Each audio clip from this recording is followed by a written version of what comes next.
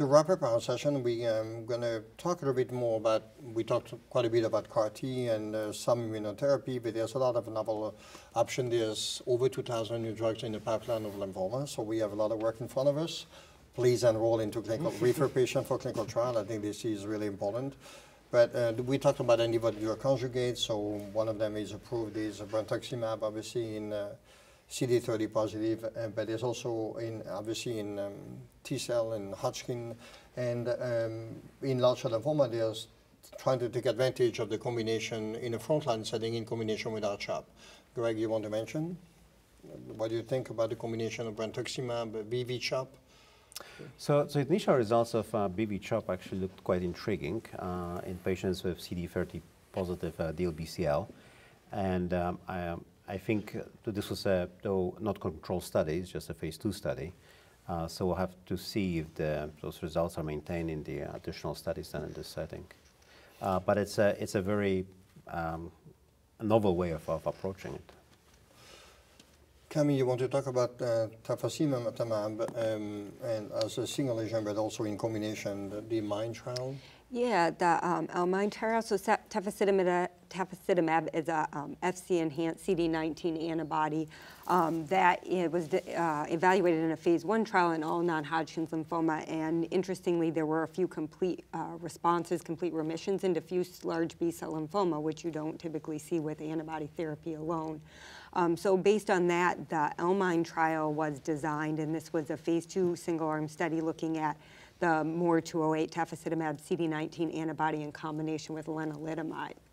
The combination was given for one year, and lenalidomide was given at a dose of 25 milligrams daily. And then for patients who completed 12 months of therapy, they were allowed to continue on the antibody if they had um, stable disease or better. Uh, and the results were actually very promising. The overall response rate in this, um, these 80 patients was 60% with a 42% complete remission rate um, a median duration of response of 22 months. Um, so I think the combination was very well tolerated. Um, uh, 70, about 50% of patients had have dose reductions in the lenalidomide, but 70% of them maintained at a dose of 20 milligrams or higher. Um, what we saw from the toxicity was primarily that what, what you see with lenalidomide alone. And once the lenalidomide was stopped at 12 months, the toxicity significantly dropped when the antibody was just given alone. Um, responses were similar across all cohorts. There was a little bit better overall responses in patients um, with lower IPI, um, one, only one prior therapy. This was done in a transplant ineligible population. Um, and in non uh, um, GC as compared to the GC subtype, but the GC subtype still had a 50% overall response rate. The L-MIND trial is, um, was impressive in uh, response rate and dur durability. Do you think that this is something that might interfere in response to um, CAR-T, anti-CD19 and further therapy? Yeah, so I think that that's a great question when you're tar you know have the same target with CAR T and it's been so beneficial, and then you're looking at a CD19 antibody. We don't have great data, and I think we'll need to have more. There will be an abstract ASH, preclinical abstract um, that shows that the CAR T is still effective in um, cells that have been treated with uh, tafasitamab. There is um, a few patients who were treated on trial that went on to get CAR T and have done well with the CAR T, but certainly using it either before or even after the CAR T, I think is something that we'll have to, you know, have more patients treated with to understand that. And if you can remind our audience, in the L-MIND trial, the patients were rituximab refractory.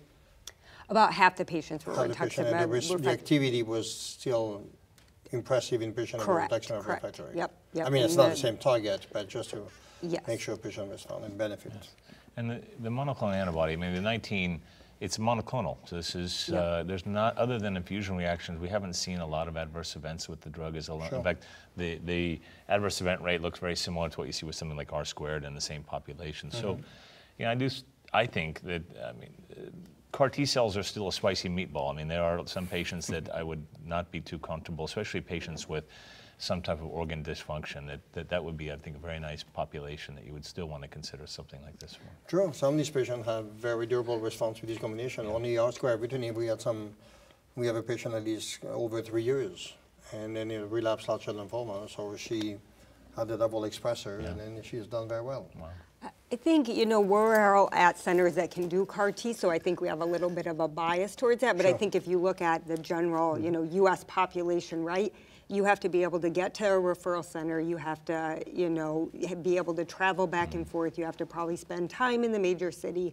The, the reality, you know, insurance approval, all that, is it's not that easy for everybody Sure. to have access currently to that.